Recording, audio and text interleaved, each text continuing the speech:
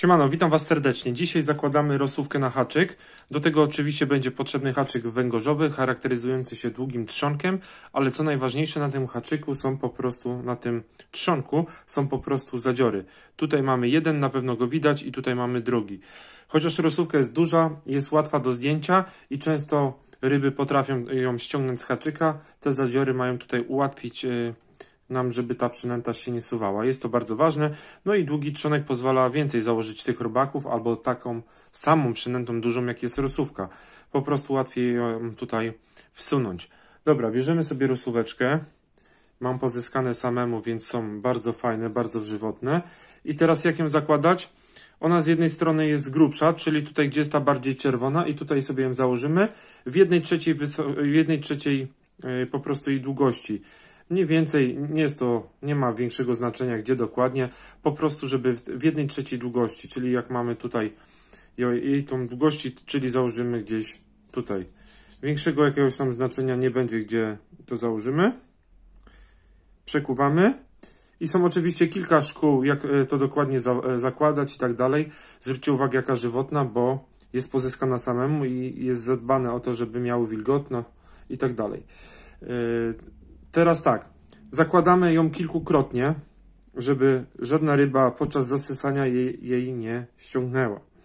I teraz ten długi trzonek pozwoli mi naciągnąć przynętę za zadziory. O, zobaczcie, to jest w ogóle ciężko to przeciągnąć. I za drugi.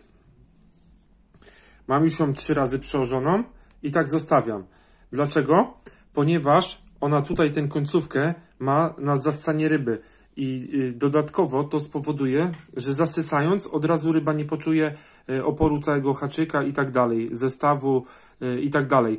Jak jest ten tutaj końcówka bardzo krótka, to ryba od razu ma kontakt z hakiem i może to wypluć. Gdy ma więcej tej rosówki, więcej tej przynęty na zassanie, jest większe prawdopodobieństwo, że łyknie, chapnie cały, cały haczyk. Tu możemy jeszcze ten grot lekko zasłonić jeszcze jednym nakłuciem ale y, wolę zostawiać tą dłuższą końcówkę. I często tak bywa, nastawiamy się na większą rybę, sumy czy y, przykładowo węgorze. Tą końcówkę potrafią wciągnąć i obciąć y, przykładowo krąpie na Wiśle, przykładowo jak łowimy, czy na innej rzece, ale warto tą dłuższą końcówkę zostawiać, żeby dać rybie czas na zessanie. Yy, ostrożne ryby, tak jak duże węgorze, one będą yy, powoli zasysały przynętę. Mogą powoli, oczywiście nie zawsze. Od razu chapną tak, że nie możemy yy, odratować haczyka. Ale żeby miał po prostu tą część do zassania. Jest to bardzo ważne, żeby tą dłuższą, dłuższy kawałek za, zostawić. I teraz to wygląda w ten sposób, że grot jest fajnie schowany.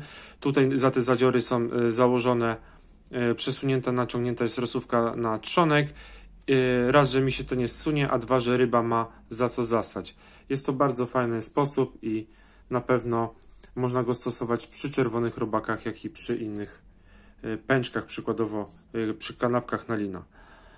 W ten sposób rosówka nie zostanie zsunięta, no i ma tutaj ryba czas na zastanie przynęty. Tak to powinno wyglądać. Do zobaczyska w kolejnych filmach w których dowiemy się, jak zakładać pęczek rosówek na kotwiczkę. Siemanko, cześć!